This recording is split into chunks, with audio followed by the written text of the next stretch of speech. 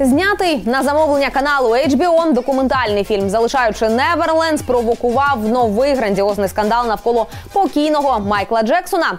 Після чого будь-які згадки співака зникли з музеїв та одягу. Окрім того, були прибрані і монументи, присвячені зірці. Та незважаючи на численні, поки що недоведені звинувачення у розтлінні малолітніх, ім'я Майкла Джексона усе ж таки залишиться у залі слави рок-н-ролу.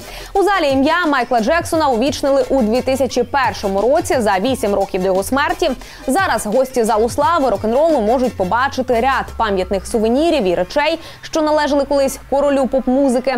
Наприклад, його знамениту розшиту стразами рукавичку і концертні костюми.